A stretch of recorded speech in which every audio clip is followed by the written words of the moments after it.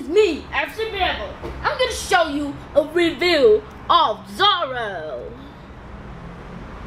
If you haven't seen the first video, not the actually the first video on my channel, the video where I unbox, I it's called the Great Unboxing. I think that's what it's called. Yeah, so we have Zoro here. Zoro, highly detailed toy we have here. First, we look at his arm. Its arm has a feeling like it's a wax figure, and his eyes are animated. Yeah, his eyes are animated. So, but the other bodies are not kind of animated, so it's it's not what you wanted. Actually, want. Yeah, I don't know if you can see him. Yeah, his eyes are animated, while his other bodies are not actually animated. Then we have his hand, and it comes with a white sword. It's unremovable, which is not, which is not actually good. I, I, I wish that his mouth could open and kind of put the white color sword in here. Yeah. There's some buttons. The buttons over here does not look kind of nice. But it's still okay the plasticky the plastic shoes at there it looks very shiny and plasticky. It's not kind of what you want. Yeah. The stand is like a skeleton and Zoro like dead of alive like pirate wanted wanted. At the back is nothing much. I like is this. These are detailed. These are very detailed this is detailed I wish that this could be removable but if it was removable it would be kind of shitty because it will drop it will drop. Maybe it will drop. And it comes with two swords.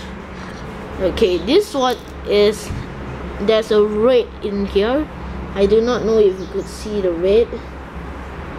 Yeah. There's a red here and nothing special then we'll see this. There's a white here, shiny white. And there's a golden in the middle. Not like the red one. There's no golden here in the middle of the handle, I think. Yeah, it comes with two. And I like the shadowing effect going on his, his stomach. Yeah, his shadowing effect. I like the shadowing effect and the t-shirt here there's some shadowing effect too. I kind of like it. Yeah.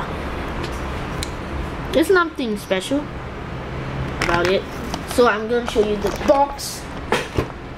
The box there's a Roronoa Zoro I bought this for $20 yes I bought this for $20 Singapore dollars. Figuarts One Piece then Roronoa Zoro is his name Bandai is made by Bandai if you do not know. These are other figures that you could collect. Like they are like Monkey D. Luffy, Zoro and others. One of Zoro easy to collect and cool stuff. Then we look at the back it shows you about the toy and the thing.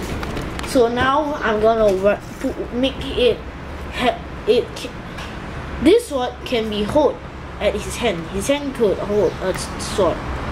So I'm gonna put the sword inside his hand. so hard.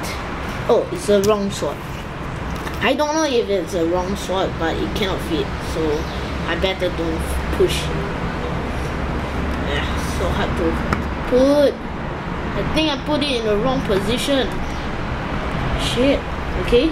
And his hand at the bottom, if you could see here could hold a sword too. So it will be like this. So it's kind of like this. It's like this. So let's see more of this toy. 360 spin of this toy. Yeah, that he wears some earrings. Very nice earrings. You can see here. But it sucks that here do not have any ear earrings. There's no not let me take out the sword here.